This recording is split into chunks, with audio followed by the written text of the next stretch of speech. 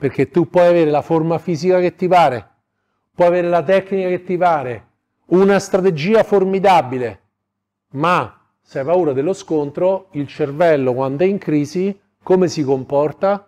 La persona sotto stress si comporta come una persona stupida. Quello che vi sto dicendo non me l'ha detto un neuroscienziato, però me l'ha detto invece un addestratore dei corpi speciali della polizia, dei carabinieri, scusate. E guardate che io quelle volte che l'ho osservato è proprio così. Faccio degli esempi molto veloci. Non lo so come si comporta una persona sotto stress se scoppia un incendio allo Zucca, non è mai scoppiato.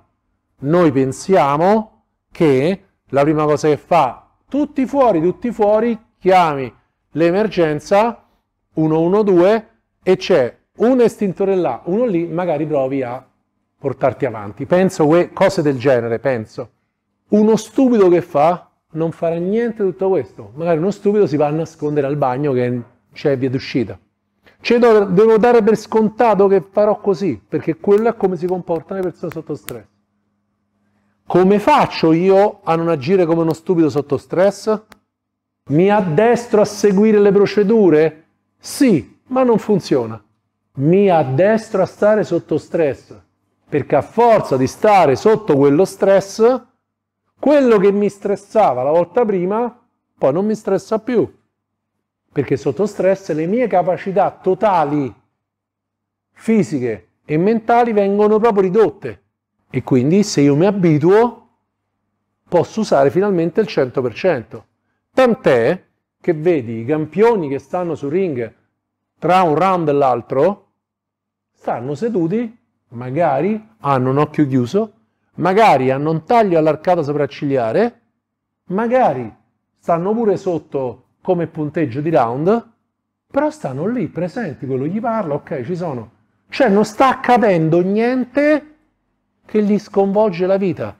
Il campione si differisce dalla maggior parte delle persone non perché sa più tecnica.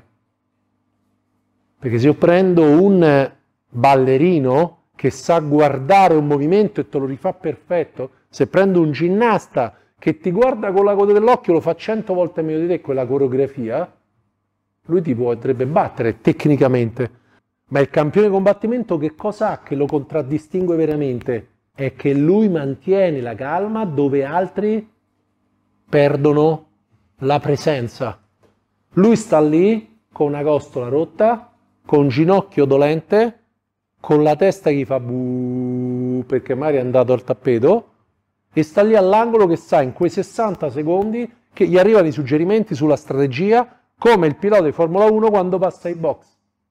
E lui potrebbe andarsene perché non è difesa personale che l'hanno aggredito e non può scappare perché è chiuso un angolo. In qualsiasi momento l'atleta può alzare il braccio e dire guardate, non mi va più. Non lo fa l'atleta perché? Perché è un super uomo. È un super uomo che nel dolore, nella pericolosità, perché con un match tu puoi morire, lui mantiene la presenza.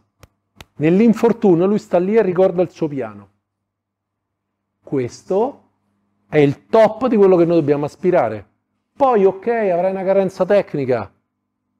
Ok, fisicamente puoi non essere preparato. È secondario, perché se tu hai paura, ti saltano tutte le strategie ti salta tutta la tecnica e ti salta tutta la dote atletica. Per iniziare questo percorso riguardo il contatto faremo l'esercizio più bello del mondo. Spalle al muro, quello mi colpisce e io faccio le mie difese.